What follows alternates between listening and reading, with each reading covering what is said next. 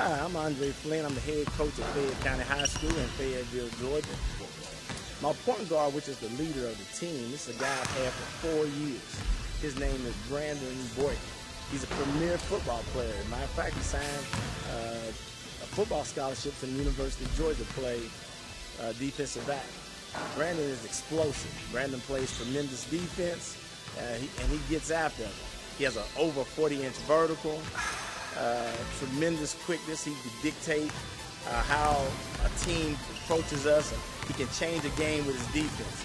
And he can also give the team a lot of energy by his exciting dunks to the basket. He probably led the team in dunks last year. And the thing about Brandon, which is what makes us so excited, makes us so strong, he's been in, been on the varsity team since he was a ninth grader. You know, that's kind of rare. And then his 10th grade year, he broke two bones in his leg.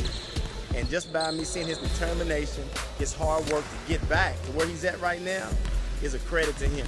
It's tremendous heart uh, and dedication. And like I said, he broke two bones in his leg, and he still has over 40-inch vertical.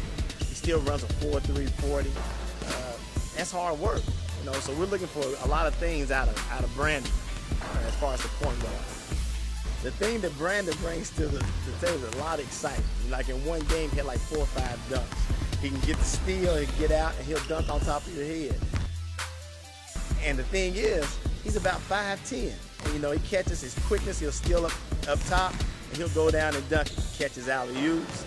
It's just, it's just amazing what he can do as far as with the basketball.